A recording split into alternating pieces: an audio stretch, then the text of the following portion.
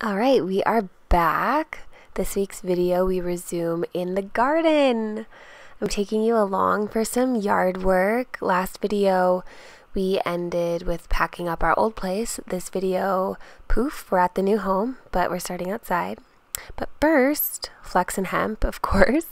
If you're not already following me on Instagram, I have my personal page, but I also have my holistic healing and mindfulness page with content that's similar to what I share here. So check out both.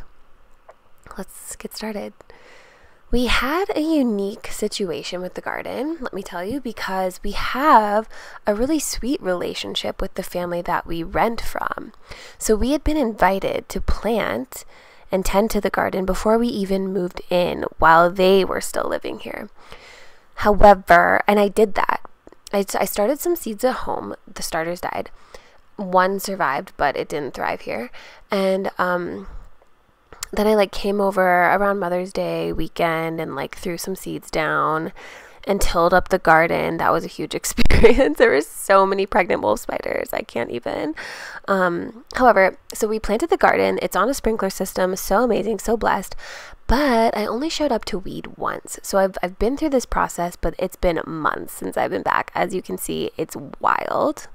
Honestly, if I didn't have this plan to film as content for you. I don't know if I would have gotten around to weeding at all. It just felt so overwhelming. There were so many hurdles I feel like to overcome in just this process. Like, for one, I've never done this. I've never had a garden. At the old home, I just we never truly settled in. I never felt confident enough and like in had enough initiative and like feeling of responsibility to do it um, the setup, all these excuses or whatever.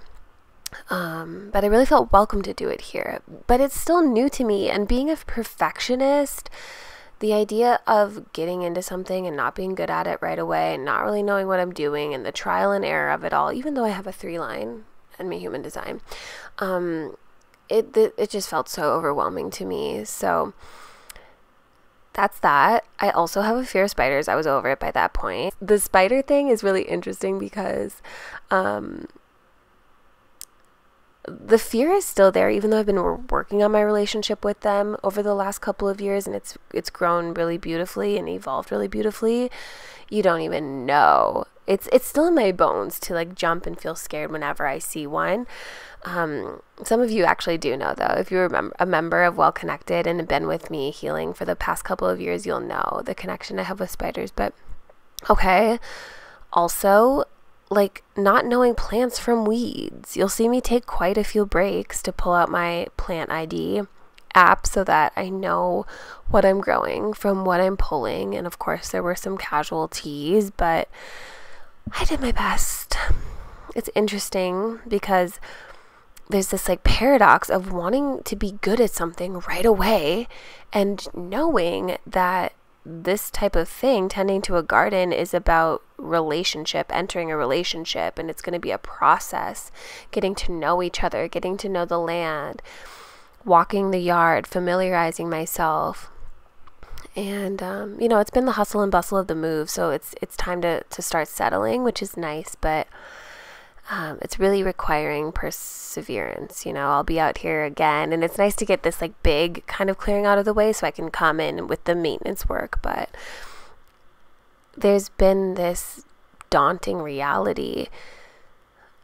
I've heard it a lot over the last few years, and maybe you have too, seen it on Instagram. I just want to move to a farm. How nice would it be to just live off the land? And yeah, that's ideal, but it's one thing to say it and another to recognize and commit to the labor that it, it takes and the time and the care to produce a lifestyle like that. So I feel really grateful that this is just like practice and has been really sweet and like welcoming and inviting and um being a perfectionist, I'm like so harsh on myself and have so much judgment and I could say more on that, but it feels like this environment is allowing me to make mistakes and try new things and, and just live. so, there have been so many answered prayers in this process of renting this home. Like, slowing down for one, that sense of urgency. Like th- this is required slowing down and knowing the land. Um, it's giving us an opportunity to become more sustainable and learn these homesteading skills. It's allowing us to be more communal, both in our familial sense, but also with my business. Heart connected healing. You might have seen the teepee space, you will by the end of the video.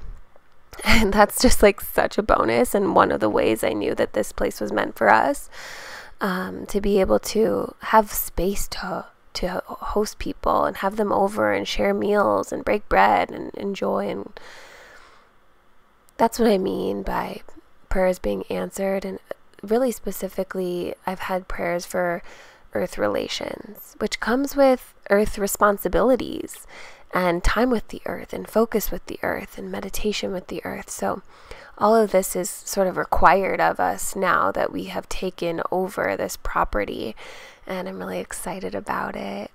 I haven't established a devotion flow with the land quite yet, um, but my eldest just started school, and I think I and my little there, Daphne, will have some time to get to know the nature and really make it ritual to be out there daily and speaking with the elements now that the weeding is rolling, I have to start studying harvesting and when to pull the abundance. It's one thing to be like, okay, the, the weeds look nice, but how do I know when to prune things back and, and collect? And I just feel like I'm in earth school right now. So if you have a garden, feel free to leave your tips for me.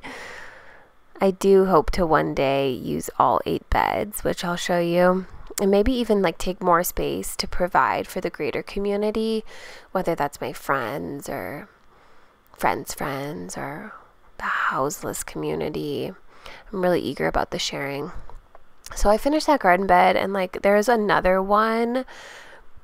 The family before us, they had planted um, some carrots and some peas and some lettuce, and that bed's out of control, but I just didn't have it in me. So I started walking around the yard, just getting all the stickers, the thistles out so that the barefoot situation is even better. It's already great, but um, you know, I do love being barefoot and I don't like the thistles. So I went around and there's the teepee, a little glimpse of the teepee. There's some protecting that space, which was sweet. Next week, I think I will be decorating the teepee for the video. The heart connected healing HQ. But if not that, I'm really excited to start tackling inside projects like refinishing an old dresser. So feel free to vote in the comments what you'd vote for. Either way, I will see you on Saturday. In case you missed it, I did recommit to uploading new videos every Saturday. Day of Saturn, day of getting shit done. That's my style it's been really sweet to have the yard and have the kids just be free and play. All right, so for the last shot, I want to take you around the garden and show you what we have planted. We have kale. We have purple cabbage. I was a maniac and just threw a bunch of seeds down. I had to pull some actually. There's a bunch of tomatoes which I did not plant. They had them in there prior, so they've been taking over. Beets, yay, yippee, and okra. And here are all the other beds that are available. That one I need to weed. There's like actual real things in there. um, there's another with some like wild arugula that Rex has been loving. So my work's cut out and I'm grateful. Thank you for watching. Bliss be with you.